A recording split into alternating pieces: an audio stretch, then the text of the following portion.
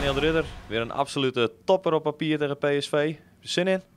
Absoluut. Het is altijd een mooie, eh, mooie wedstrijd. Maar eh, zoals het nu gaat, eh, heb ik in elke wedstrijd wel zin hoor. Hoe leven jullie nou toe na zo'n wedstrijd? Nou ja, ik denk dat dat, dat het uitgangspunt is. En heeft de trainer ook zo gezegd dat we nu moeten, de wedstrijd moeten beleven als een normale wedstrijd. En natuurlijk is PSV nummer 1 van de competitie. Maar dat moeten we niet te veel in ons achterhoofd houden. Want anders ga je respect hebben op een nou, overdreven manier. We spelen thuis en we gaan uit van onze eigen kracht.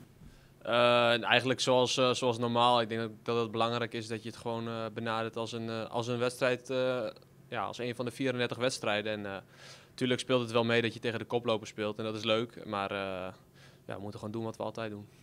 PSV heeft natuurlijk afgelopen week ook voor de beker gespeeld, verloren van Roda. denk je dat dat ook nog meewerkt? Ik denk dat het wel een klap voor ze is geweest.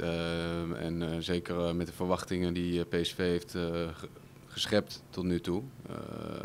nou ja, dat je er dan tegen Rode uitvliegt. Nou, dat gaat je niet in de calculeren zitten, denk ik. Dus ze zullen hier getergd komen. Maar des te meer reden voor ons om te proberen een tweede klap te geven. Denk je dat PSV te pakken is in eigen huis? ja, tuurlijk tuurlijk. We hebben altijd kansen en uh, we hebben ook bewezen dat thuis hier uh, tegen topclubs, uh, ja, vorig jaar ook, dat we gewoon kansen hebben. En we moeten scherp zijn. Ze zijn natuurlijk gevaarlijk in de counter vooral en snelle jongens voorin. Veel gevaar, maar ja, we, we krijgen zeker kansen.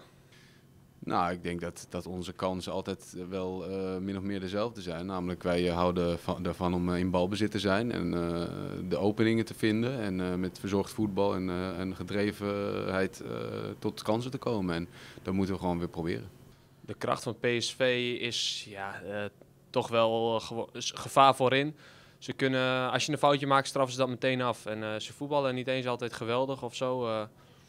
Maar uh, ja, ze hebben zoveel individuele kwaliteit en vooral uh, op middenveld en voorin dat uh, ja, als je een fout maakt dan, dan kan je ook zomaar 1-0 achter staan hier en daar moeten we voor waken.